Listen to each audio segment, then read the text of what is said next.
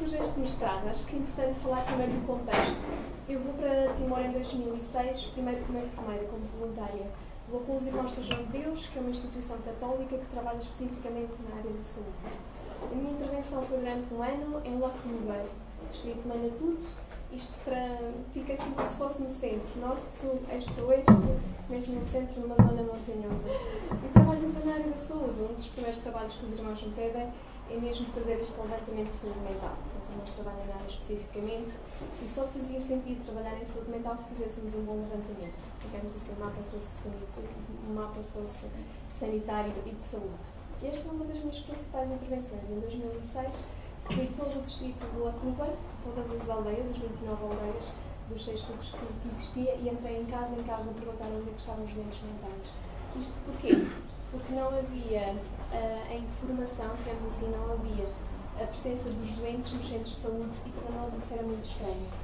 Uh, na, na, área da saúde gosta-se de falar muito dos números e, e, falando em números, para nós o, o, programa, digamos assim, do Ministério da Saúde começou a ser desenvolvido em 2002, como país, não é? e em 2004, antes de uma equipa de irmãos especializados na área da saúde mental chegarem ao terreno, estavam apenas identificados três doentes. Quando eu chego em 2006, estavam identificados 22. Isto estamos a falar de um, de um distrito com 10 mil pessoas. No final de eu fazer o levantamento e perceber onde é que estavam os doentes, conseguimos identificar perto de 80 doentes. Isto fez-nos assim um bocadinho de porquê que, pronto, como é que e se nós comparássemos o número de doentes que existia no distrito de Manatuto com os diferentes subdistritos, Clubar era aquele que tinha maior número de doentes mentais. E às vezes brincavam que eram os irmãos que tinham levado a doença para La Clubar. Tínhamos mais doentes mentais.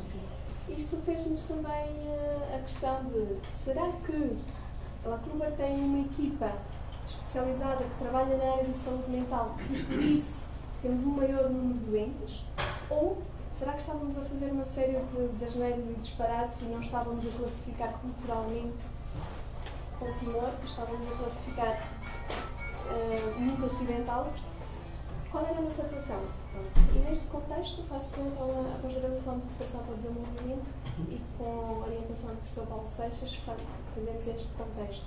Nós também sentíamos que a área da cooperação uh, trabalha um ritmo muito rápido da investigação. A investigação precisa de tempo, a cooperação não tem tempo. Como é que fazemos este equilíbrio? E este texto surge muito neste sentido, percebermos o que é que Timor-Leste precisa na área da saúde mental para que depois o nível de, de ação seja muito mais. Os meus objetivos foram muito estes. Hum, os meus objetivos foram estes. Perceber quais são as normas internacionais, o que é que a OMS diz a nível da atuação de saúde mental e ao mesmo tempo perceber o que é que a cultura timorense nos diz sobre o conceito de doença.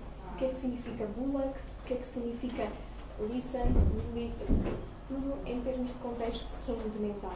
E foi este o meu trabalho. Quais foram os contributos assim grandes que nós tivemos? Principalmente perceber que Timor não ia precisar daquela tipografia que nós temos dos hospitais de saúde mental, dos hospitais e, colocarmos os dentes todos fechados no, no mesmo hospital. Não, Timor precisava mesmo de um trabalho comunitário, trabalhar com a comunidade, trabalhar com as famílias, porque é uma cultura que vive muito estes conceitos e nós precisávamos. Um, outro dos levantamentos de questões que nós fazíamos era porquê que não deveríamos introduzir os matangotes, ou que eles chamam de feiticeiros para nós, um, nas equipas multidisciplinares, porquê que não recolher uma opinião também, e não quer dizer que uh, possamos valorizar mais a opinião do, do Matandoc do que do psiquiatra, não, mas trabalharmos em conjunto. Isto porque nós sabemos que saúde mental, sem trabalhar conceitos uh, psicológicos, conceitos de doença, uh, seria muito difícil. Uh, nós conseguimos perceber muito bem que com ocidentais conseguimos tratar a parte física, mas não conseguimos tratar a parte psicológica. Isto só com uma equipa entre multidisciplinar que conseguiríamos trabalhar. E é esta tese que, que nos dá. E também a importância do cooperante, a importância do papel do cooperante.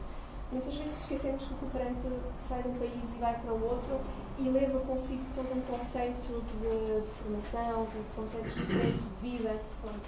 Como é que nós conseguimos ser mediadores culturais de percebermos que há um conceito específico de saúde no país em que intervimos, há o meu conceito como cooperante que trago e que vou colocar em prática com as pessoas. Daí seria importante, entre aspas, criar uma terceira cultura uh, na área da saúde mental, não valorizar apenas o conceito que nós temos no DSM-4, que temos na OMS, e não valorizarmos apenas o conceito cultural de Bullock que Timor tem, mas criarmos um novo conceito e trabalharmos em conjunto. Eu, inicialmente, eu só vos quero pegar aqui numa parte, isto repete a parte do que eu vos falei, os números, mas pego principalmente nas representações da doença.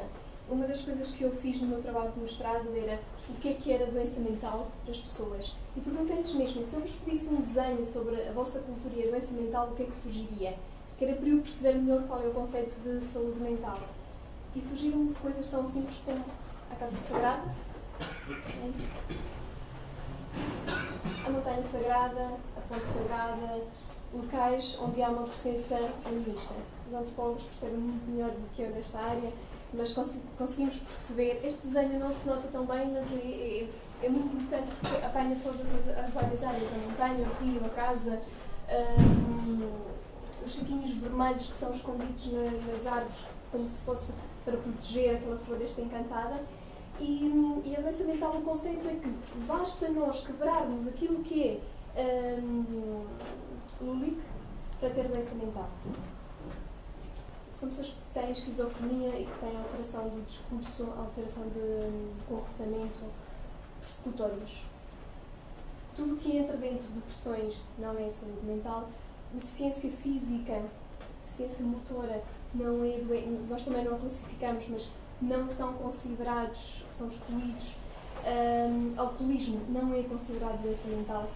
Tudo o que é alteração uh, do lúdico ou do Dicen é que é doença mental. Faço-me entender? Uhum. Pronto, acho que estas imagens representam melhor. Se eu vos perguntasse a vocês, para vocês, o que é doença mental e traduzam isto numa imagem, num símbolo, eu já fiz várias vezes esta, esta atividade e muita gente me dizia ah, medicamentos, um cérebro, porque o nosso conceito de saúde mental inclui qualidade de vida, satisfação pessoal. Eh, quando estamos a falar de temor é as necessidades básicas, eu estive no, na, zona da montanha, que havia mesmo pobreza extrema, uh, falta de alimentos, saúde mental para eles e não é o nosso conceito. Queriam era comida e abrigo e segurança e educação. E este só para vos trazer, isto são as imagens reais, está bem? Isto é uma fonte sagrada, uh, da qual eu, eu, eu, eu, pedi para virem comigo porque eu queria conhecer estas fontes sagradas a, a pessoa que estava comigo não podia entrar. Uh, mas porquê? É uma fonte. Não, não posso entrar porque a minha família é proibida, eu não posso uh, estar perto dessa fonte, senão fico doente. Bullock. Ok, então tive que pedir porque para mim era, era, um, era um simples um riacho. Vês que não é um riacho, que é um.